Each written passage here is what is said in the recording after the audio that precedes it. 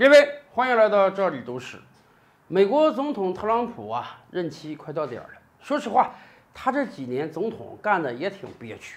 比如说，四年前刚一上台的时候，美国各界就指责啊，说有通俄门。虽然说特朗普未必真的是俄罗斯的间谍，可是有很多民主党人说，俄罗斯因为讨厌希拉里，所以给特朗普当选帮了很多忙。而且特朗普的亲密助手啊。美国总统安全顾问当时就被人揭发，在大选的时候私下会见过俄罗斯高官，就因为这个事儿，这个人不但官儿丢了，还进监狱了。所以啊，美国国会当时要发起通俄门的调查，还任命了一个特别检察官来调查这个事儿。可以说，通俄门贯穿了特朗普执政这四年。好了，通俄门后来啊没调查出来什么实质，可是对手也有很多猛料啊。比如说这次大选期间，拜登的儿子乔拜登被揭发出有非常多荒诞无耻的事情，非常多的贪腐之事，所以特朗普要求啊，既然你们当时调查我通俄门没证据，你们都调查，现在我要求啊，要求司法部长任命一个特别检察官来调查拜登儿子的贪腐。虽然拜登未来是总统，可是我当年是总统，你们也没少调查我。然而，特朗普任命的司法部长。拒绝了他任命一个特别检察官的要求，哎，人家就是不听你的。反正我这个司法部长也快到点儿了。您看看特朗普多悲催，自己被人调查，他要求调查对手，人家就是不给你调查。讲到这儿啊，我们得跟大家聊聊美国这个特别检察官制度了。按道理讲，咱们知道啊，美国是一个行政权很大的国家。美国总统上任之后呢，有超过四千个职位由总统亲自选定，包括司法部长。然而就不包括这个特别检察官。这个特别检察官是由司法部长来任命的。可是总统如果要求司法部长来任命呢，司法部长是可以拒绝的。为什么？这个事儿可是有来由的。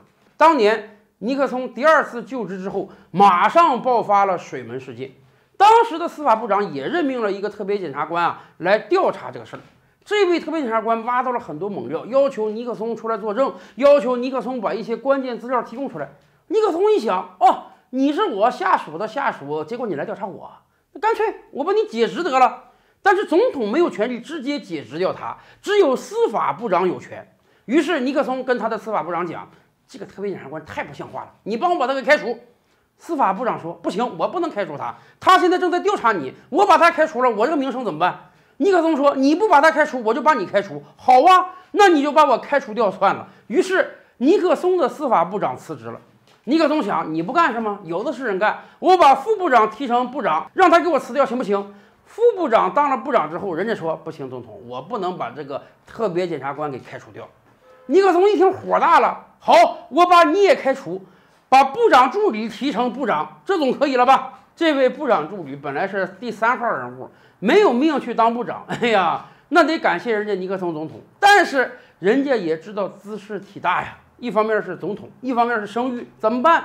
他选择了这样一个路：先把特别检察官解职掉，然后自己宣布辞职。我既报答总统知遇之恩，又对得起良心。尼克松这一连串行为让美国社会很警觉。总统权力原来这么大呀，不做限制是不行的。所以国会后来通过了相关法律，订立了特别检察官制度。而且咱们知道，后来有一位总统被这个特别检察官折磨的是特别狼狈呀，那就是克林顿总统。林顿总统任期之内，说实话没有什么大错，唯一的问题是啊，作风有点不检点。男人嘛，他犯了天下男人都会犯的错误，结果。这一点被人家共和党死死咬住，最后斯塔尔那个报告一出，好几百页，一时之间洛阳纸贵呀。